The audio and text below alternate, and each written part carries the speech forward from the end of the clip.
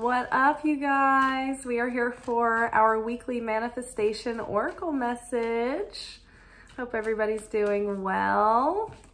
It's pretty late. Just got him from work. We had a big buyout at the restaurant, so there was a private event there tonight and we just have a lot of like furniture to move around and stuff so I am tired babies and I ran around before work doing all my Rosh Hashanah shopping tomorrow's Rosh Hashanah this is spiritual new year where our soul elevates ascends to the upper realms and for the next 10 days we'll be going through sort of like a judgment day and a cleansing period.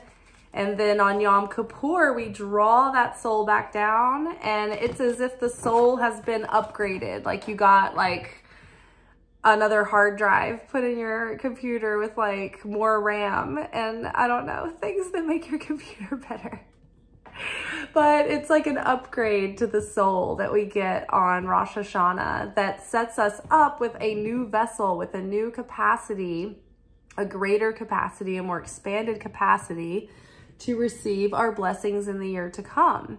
And so if you are, you know, a regular watcher of this channel, you've probably heard me talking about uh, Teshuvah over the last 40 days.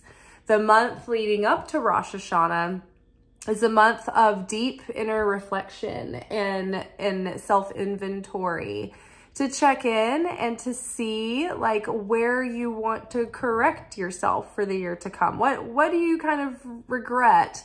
Where did you fall short this past year? It's the Teshuvah is a time to own your shortcomings and wrongdoings and negativity and ways that you're not fully, you know, putting an effort in or ways that you're ignoring, like spiritual guidance that you're getting.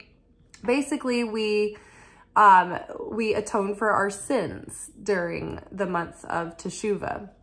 But I think that sometimes we don't look into what is sin, what does that count? Like what are we actually thinking about through the year? So I like to go more into depth about that. So we've been preparing and so the, through doing the Teshuvah, not only are we thinking about strategically, okay, the year to come, this is the person that I want to be in this coming year. And this is going to help me achieve more of my potential, be more of my greater, better, higher self. And that will draw more blessing in. And I can prepare myself with my new soul so that I won't get a smudge on my soul like two days into the new year or two seconds or 10 seconds, you know, however long it takes us to have like to blow a gasket essentially. So it's like this preparation where we're like, okay, I'm, I'm running through the plays. I'm, I'm going through the rehearsals. I'm going to do better this year. And so we prepare ourselves for that new year to come. And then, so for 10 days, we'll be tested and challenged a little bit um, each day in accordance to that dimension of the soul for 10 days until we draw that soul back in on Yom Kippur um, and we and we fast and we uh, restrict the body consciousness to draw that soul back in. But in the meantime, it's almost like the, the grid work is being laid and uh, we're being like all the the upgrades are being done. And it's like if you went in and had your computer upgraded and they were adding a bunch of bells and whistles to it. Like that's kind of what's happening to our soul. So for the week to come how do we need to direct our focus? I know i personally will be ritualing for the next four days. It's like a 12 hour a day kind of thing. So it's, it's going to be pretty hectic. Tomorrow, I may or may not have time to do our Libra new moon solar eclipse workshop. And I will try to but tomorrow is Rosh Hashanah. So I've done my shopping. I will have to do Teshlik tomorrow which is when you do your ritual sacrifice. Um, and the more of the self that you give, the more of yourself that you sacrifice, the more of your ego that you transmute during this time of preparation leading up to Rosh Hashanah, it's like the more blessings that you're capable of receiving. So tomorrow, Tashlik is a practice of casting your sins into bread or a chicken or a goat. And the goat, or people usually use bread now, so I always suggest using bread. But you cast your, you infuse the bread with your sins. You cast your sins into the bread. You think about all those things that you've been carrying with you through Teshuvah. You put that in the bread and then you throw the bread into water and that washes that negativity away. The water represents the fact that the water was not here before existence and when existence passes, the water will be gone. It's like nothing remains the same. It's it comes and it goes, right? And and we don't need to hold on. Our, our sin is not eternal. We we can let it go um, and let it pass. And so our, so let's rein it in. So tomorrow I'm doing tashlik and then the ritualing starts at sundown. And so tomorrow night is the, the feast. So I will also have to like prepare my feast to eat the ritual foods and have them on standby, but also be doing the ritualing. So, and then there's like the nullification of the vows before the everything, the ritualing starts. So it's a very, very dense day tomorrow. So I may or may not be able to do our workshop. I'm going to do our best to stay, uh, do my best to stay on top of our content, but with no further ado, Let's briefly look ahead to see what the week holds. And this is no surprise. Alchemy! Transmuting that darkness into light. Transmuting that bitterness into sweetness. Transmuting our negativity and our shadow even into our superpowers by healing and refinement and elevation. You have the Midas touch right now and every project you begin turns to gold. So like I was just saying, this basically reiterates everything I was just saying. That when we give ourselves, give of ourselves in self-sacrifice, when we lay down the selfish ego, the desire to receive for the self alone, when we turn a fear, when we face a fear, we walk through it, when we learn to trust the creator, when we can restrict reactive behavior or thoughts or feelings and become more sovereign and use our free will, then that transmutes our darkness into light and that opens, that, that darkness turns into what I like to call miracle juice. And it is repurposed into the blessings that are coming into your life. So the more that you can transmute and transform and heal and let go of that negativity, then the more light that's going to come in, the more blessing. All right. Interesting. And you don't have to be uh, like Jewish to participate in Rosh Hashanah. It's for everyone. It's for every human being with a soul. And even just by knowing that the ritual is happening, you can connect with the light. What the high holy holidays are, are an open, are like an opening in a window of space and time that allows like a particular quality of the light of the creator to come through that we can connect with. And some days of the year, we're, we're not as connected with that particular um, aspect of the light as we are other times of the year. So these are very special times where they don't come around or it's not available every day to get this kind of intense uh, connection. And then it's like almost like charging your batteries. It's like when you have solar power. It's like having a bright sunny day and being able to like load up your reserve banks so that when stormy days come, you will have the power and the strength to keep the lights on during those cloudy times. Uh, metaphor intended. Up next, make a wish. Blessings. This is a magical moment. Make a wish and enjoy its manifestation.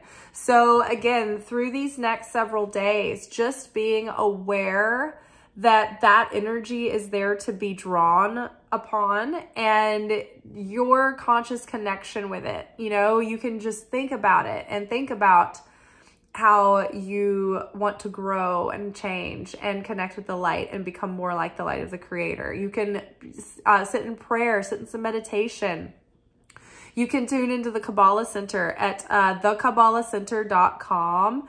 You can uh, go to their like events, live events and holidays section and look up the live broadcast of the New York broadcast of Rosh Hashanah. There's broadcasts all over the world, but that'll be like the, the one where it's happening live in New York with Michael and Monica. You could, I think, pay what you can usually for their, their big holidays. So you can pay like a dollar or whatever and live stream the event if you want to.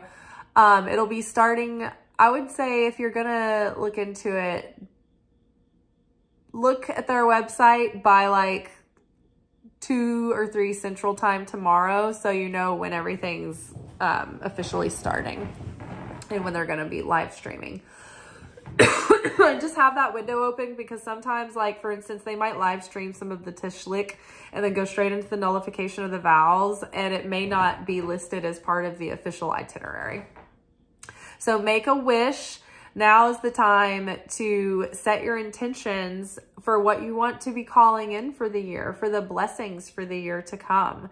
We're making our prayers and making our um, intentions known and, and, and holding them in our heart. But first and foremost, we're doing the self-emptying. We're giving, you know, we're offering. What are you offering um, when you come here to worship? What are you giving? And we're not giving like animals anymore for the priests to slaughter. We're not bringing the lamb. We are the lamb that we're bringing to the slaughter. So it, it's more powerful if we can give up our anger or our bitterness or a grudge that we've been holding, right? If we can create unity and love rather than division. So making our wishes, saying our prayers for the year to come.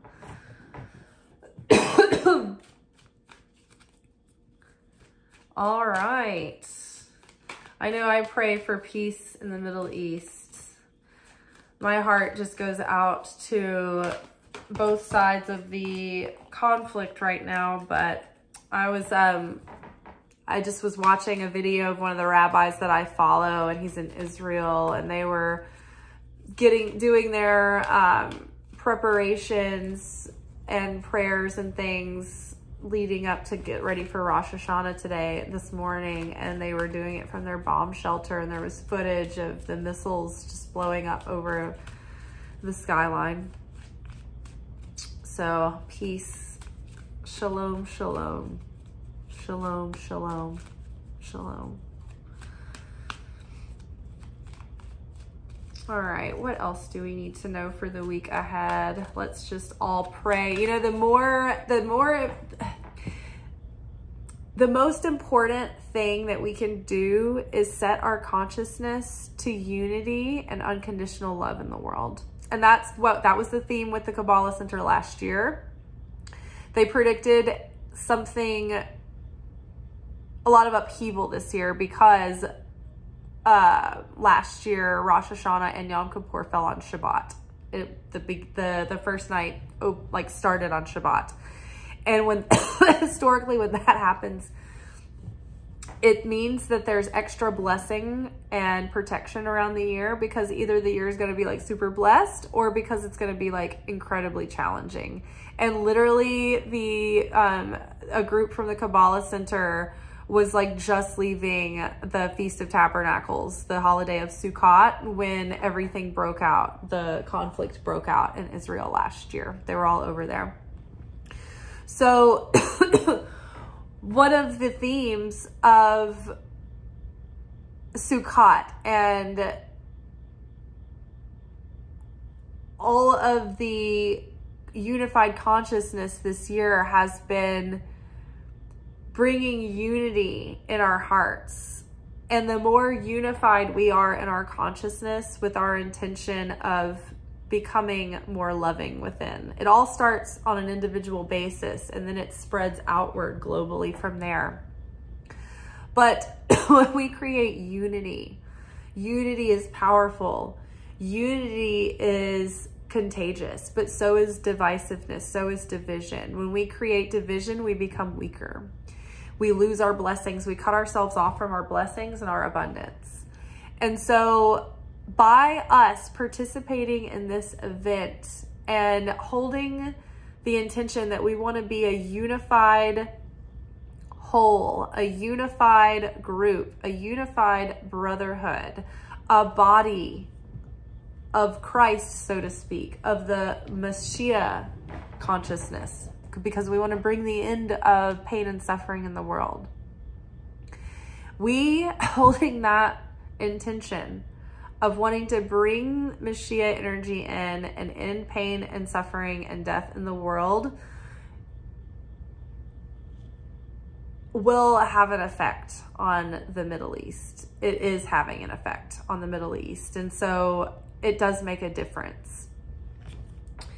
It does tip the scales of light and darkness. It feels like we are helpless um, in the face of situations like that, but particularly because of the conflict happening in Israel. Israel is the heartbeat of the world. It's the soul of the of the world. That's where the seat of the soul of the heart of the world is. It's in Israel. It's in Jerusalem. It's in the temple. That's why there's so much chaotic energy there. That's why all the religions wanted to compete to, to own this space because it's, it's a vortex of energy. It's the heartbeat of the whole world. Dream big. Let go of small thoughts about yourself and see yourself succeeding. You know, this is what I'm talking about. It's like let go of the fear that we are helpless in the situation or that our attempts of world change are futile. They are not. Everything that we do inside of us tips that cosmic scale. And every time we change ourselves for the sake of sharing, every time we perfect our vessel to receive the light for the sake of sharing it with others, then that magnifies the light and that makes the side of the light more powerful than the side of the dark. And it's going to be on an individual basis that we awaken and we become more compassionate and then we show that compassion to our neighbor and it and it spreads from there. But nothing happens on a large scale. It always happens with each individual person. Even the big world decisions are made by individuals, right? Those individuals are affected by the common zeitgeist, right? The collective conscious consciousness. So if people are growing and changing and aligning with unconditional love and integrity, then they're going to make different decisions that are going to affect the world stage. So dream big, Believe that you can make a difference. Believe that even you in your own house by yourself, connecting with that unity, saying your prayers, doing these rituals, and sacrificing your selfishness is actually helping. It's actually helping overseas. Anything else you can do would be great. But if there's nothing else that you can do, the prayers and the ritualing and the unity that does make a difference. So believe in that. Believe in yourself. Believe in believe in the light. Believe in the creator to, to work through work through us in in big and small and mysterious ways. You know, we have to bring the light forth in the world, right? The light is there always. Angels are there always. Our spiritual helpers are there always, but they can't do anything unless we channel their their acts and their words and their their works and their creations through. We are the hands and the ears and the and the feet of the spiritual realm. Um, that's why we're here and that's why we're needed right? This, uh, the same rabbi who was um, broadcasting from Israel was talking about when Adam woke up in the Garden of Eden when he was created, when he was born, he did not see lush greenery and waterfalls and beauty and trees. He saw a barren wasteland because there hadn't been rain yet. And there hadn't been rain because there was no one to receive the goodness of rain. There was no vessel to receive. There was no point. There was no, no nothing to share with. What, what does it matter if there's beauty in the world if there's nobody to appreciate it? And so everything was created already, but it was just under the soil, just under the surface. And when we were created, when Adam woke up, it was like we drew down the goodness of the creator. And that's when the rain came because of our desire to receive, our desire to, to receive the creator, to receive the light, to receive the goodness, drew down the creator's goodness in the form of rain, which hit the ground and then everything sprouted up. It was like instantaneous. It was like everything was there waiting. It was it was there waiting in perfection, created in perfect potential, just waiting for the moment that it could be received that it could be truly appreciated. And that's the moment that it bursts through. Before that, there was nothing to receive it. There was no vessel to receive. There was no vessel to desire. There was no vessel to appreciate. So there was no point in God doing his goodness. There was nobody to receive it. And that is exactly what it is for us in this life when we are revealing our soul, when we're revealing our potential everything that we could be. We are in our perfected state. Our life, that higher destiny is already there, right at the edge of the soil. But we have to have the capacity to receive it. We have to have the capacity to appreciate it, right? And then when we do, when we have that desire and when the vessel has been prepared and built, then that's when that cre the creator lets lets it rain down upon us, right? And that when it when we make it rain, it's when the potential comes out, right? So making it rain, I'm not talking about money, although that might be part of it, but I'm just using that as a metaphor. Break free, break free from the influence of the ego. When the shofar is blown, it is blown to confuse the ego. It puts the ego in such a state of disarray that it is helpless and powerless in that moment. And that's when we get to overwhelm the ego and overpower it and, and, and fill ourselves with the light. So break free. Try different ventures and experiences as a way to grow and learn. So we're breaking free of the patterns of the past of our old limiting beliefs, of our old um, stories, our old habits, our old routines. We're breaking free of it all. And the old is no longer um, influencing our reality anymore. It doesn't have to. But it's going to be up to us to choose to adopt new habits and new routines and new patterns and new mindsets. That's the most important place to start is just adopting that new consciousness, that new perception. Everything starts from our consciousness. Everything that we create, everything that we do, every action that we take is flavored by the consciousness that we're in when we take that action, right? So we need to break free of being in reaction, right? When we're reactive to our emotions and or we're reactive to our, our thoughts. Maybe we've got an overactive mind, right? We need to be able to pause that desire to react instantly and tune inward for the spiritual uh, truth and guidance. So we are creating from a different quality of consciousness. We're creating with seeds of light, not seeds of chaos.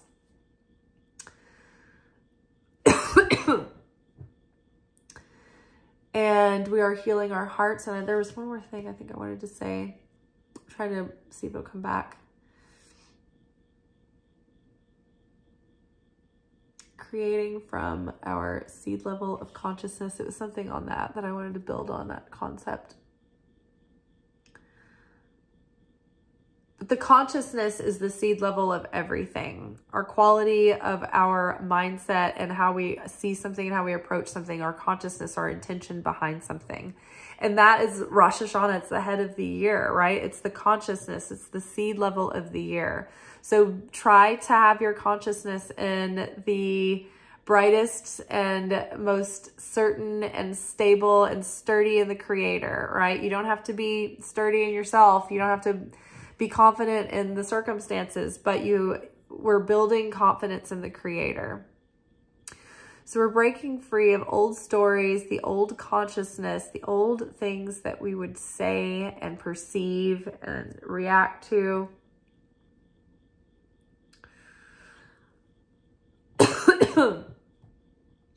yeah, I think that's all. I can't remember the other detail, but it was pretty much just building upon that concept and it's things that we probably talked about before anyway. All right, you guys, I'm gonna get off here. I'm gonna take a shower and eat and get up early. What is this? Morning affirmations. I gotta get up early in the morning affirmations. So, oh, hey, guess what? Just in case we thought we'd get out without seeing this card. That was under morning affirmations. Soulmate relationship. Hope it's on the way. All right, y'all. I'm losing it. I'm going cray. So tired. I will see y'all maybe tomorrow, hopefully. And I'm going to do my best to film our workshop, even if it's a shorty. I'm going to be ritualing and cooking and running around a lot, so I'm not sure. I don't want to make any promises, but if I'm not here, will you just watch one of my other videos so I don't lose all of my progress in the algorithm? I swear, if I if I skip one day, it's like 10,000 less like exposure. It's crazy. They all help me out. just go just go let a playlist play or something in the background. You don't even have to watch. Just go run errands. All right, love y'all. Ciao. Thank you for watching. If you enjoyed this video and you got something out of it, then please give it a like.